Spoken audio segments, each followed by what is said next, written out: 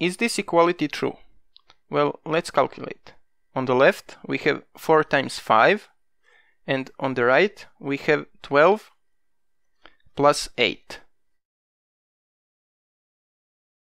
Note that on the left we have multiplication and on the right we have addition. We get 20 is equal to 20.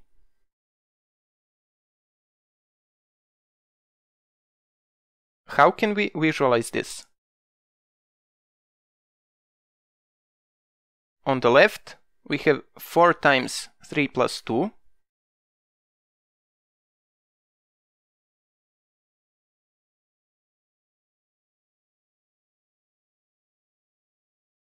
And on the right, we have 4 times 3.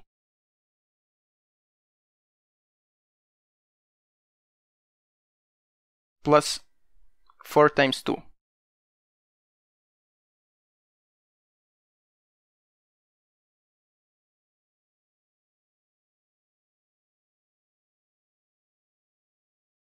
Now, if we merge these two rectangles, we would get a rectangle that looks like this one on the left.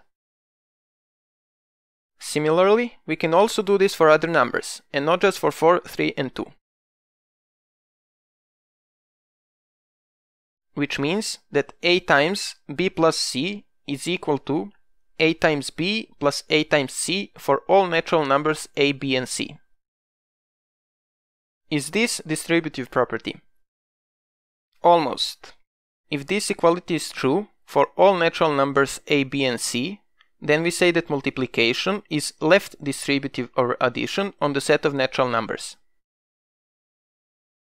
If the same is true when we multiply from the other side, namely that b plus c times a is equal to b times a plus c times a for all natural numbers a, b and c, then we say that multiplication is right distributive over addition on the set of natural numbers. And finally, we say that multiplication is distributive over addition if it is both left and right distributive over addition.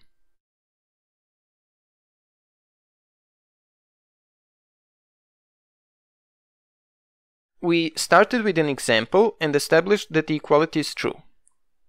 We also noticed that on the left side was multiplication, while on the right side was addition.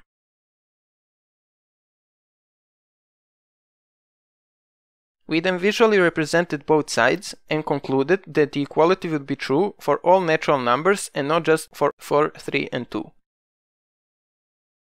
And that is how we defined left distributive property. In a similar way is defined right distributive property. And finally, we said that multiplication is distributive over addition if it is left and right distributive over addition. With that in mind, I leave you with this question. What is an example of an operation that is right distributive but not left distributive over addition? That is all for this video. If you liked it, click the like button, it helps with the YouTube algorithm. And I'll see you next time.